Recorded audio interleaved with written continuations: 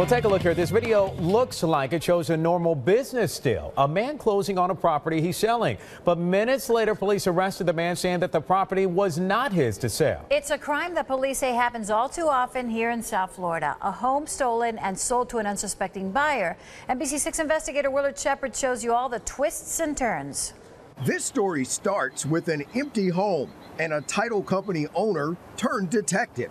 It ends with this man in court. Well, I am the authorized representative for Henry Ferguson. Well, you're Henry Ferguson, though, are you? I'm the authorized representative for as such. Broward County Judge John Hurley has seen just about everything, but this had him scratching his head. What is your name, though?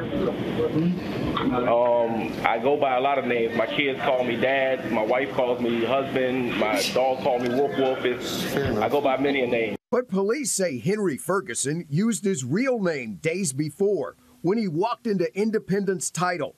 The well dressed 43 year old man sat down in a conference room saying he represented a man selling this Broward County home. He sat across the table from the owner of the title company, Kevin Tacher. I did the closing myself, uh, you know, where normally I wouldn't do that. Ferguson came to the closing after providing Tacher all the necessary paperwork. This one shows the mortgage had been paid off, and here's the warranty deed, signed and notarized. But all Tacher saw were red flags. We just noticed there were some inconsistencies. He says his first clue was that six years had passed from the time the mortgage was paid until it was recorded with the Broward clerk. That's when he turned into Sherlock Holmes. The more research we did on this, the more we uncovered that just didn't make sense. So Tacher asked Ferguson to put him in touch with the homeowner, Dwayne Fletcher. We asked a number of times because the seller said they knew this person. They knew Mr. Fletcher, uh, but he was just hard to get a hold of. So I said, I'm going to dig in a little bit deeper to find Mr. Fletcher. And he found him about yeah, 90 miles away. I was kind of really surprised, yes, absolutely. Tacher asked Fletcher the same questions we had. The signature on this warranty deed, is it yours? No, it's not. It is not my signature.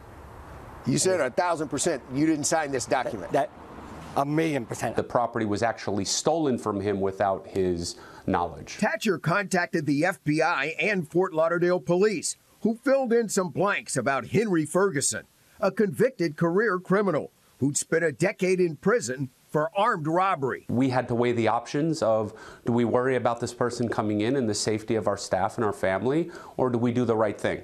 And the right thing was making sure that they can get this person. With detectives watching, Tacher pulled off the closing. Ferguson walked out expecting a $75,000 payday. Instead, police arrested him. Well, I mean, obviously, he was stealing from us. He was stealing from us. He was stealing from our clients. I'm saying you're Sherlock Holmes. Who do you think you are? A concerned citizen that wouldn't want this to happen to my family. I would call him Sherlock Holmes too. I, he's actually my hero right now. We're in business to prevent things like this from happening. One case closed, another opened. I am the authorized representative. Of who? Um, Henry Ferguson. No matter who Ferguson says he is, he faces grand theft charges in this case. And he's charged with violating his probation that he was on until 2031. Home stealing scams happen all too frequently.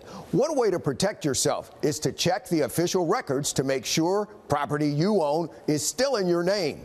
We'll walk you through how to do it when you click on this story in the investigators section of our website and in the NBC6 News and Weather app. Willard Shepard, NBC6 News.